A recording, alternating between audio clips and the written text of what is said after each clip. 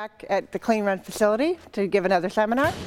This seminar is what I call the Balancing Cues seminar. And it's all about taking the six basic cues and mixing them together. And the, the focus is going to be on the motion cue.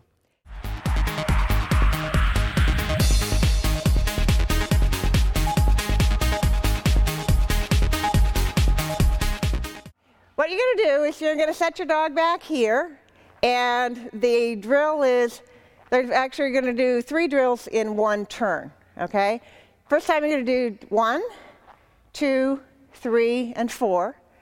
And you're going to do it with no side change. So you're just going to do a pull.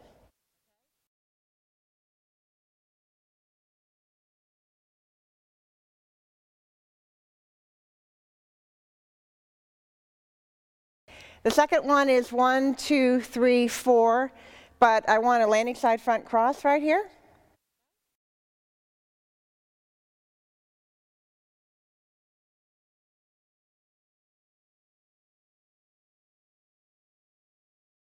And the third drill is one, two, three, four to that jump up there.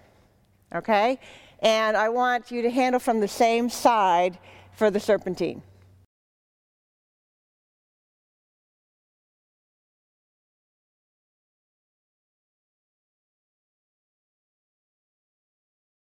Somebody tell me how you're going to cue the pull. Okay, deceleration is a good option because if there's no side change, there's not any re- real need for lateral motion, right? Um, but if you're, one thing that when you're doing short drills like this, it's very difficult to show deceleration.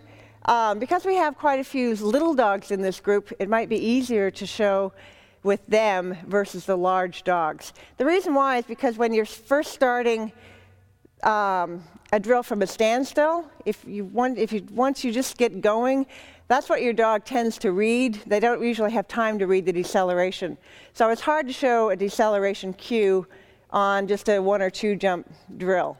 Um, we might, we, because we have a couple eight-inch dogs, we might be able to actually have those people start from a running start and show some real deceleration. The big dog people will probably have to just use a no motion cue. Um, what are the other cues going to be that are going to tell the dog to jump the jump and then turn versus turn before the jump? Your shoulders, your shoulders facing forward. Shoulders facing forward, what else? A verbal, a verbal obstacle command like jump. What else? Inside arm, um, inside arm, all those are forward cues. So your shoulders facing forward, a verbal jump command, and an inside arm cue. Those, those three supporting forward cues tell a dog to do the jump, even though your motion is not supporting it.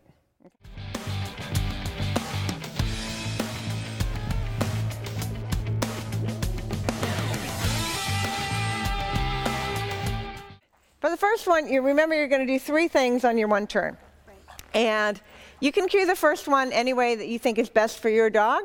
One thing that I'm going to try and help you with is decide what's best for your dog. Um, so you're just going to do the pull to start with, okay. which means you're going to cue with either deceleration okay. or no motion, meaning you can either just be standing still um, to start with, or you can actually run into it. It's up to you. I'll run into it. Okay. Get a running start. Whatever you want to, whatever you want to do.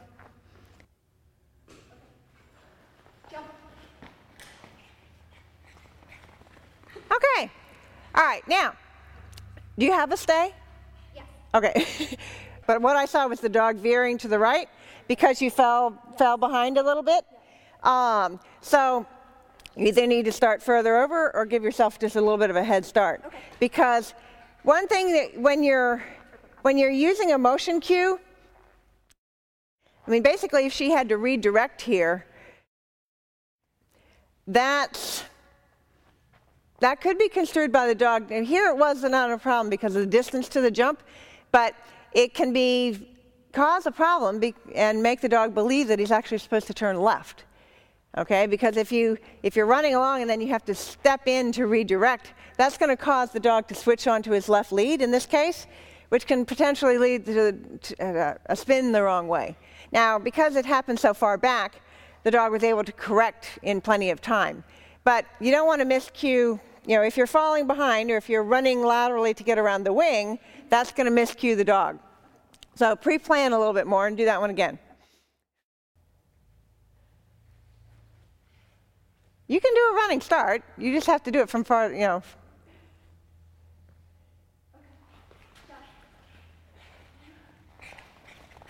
Okay. All right. Now, you're sort of doing a hybrid, meaning you're you're coming up and you're starting to move laterally, but she's not actually moving laterally really until the dog is almost committed. Um, just use deceleration only, okay? Which means really you shouldn't have to use lateral motion hardly at all for this for this drill for your dog, right? Um, so, and and if you're concerned about him coming through the gap, you just be in the gap to start with, okay? Okay.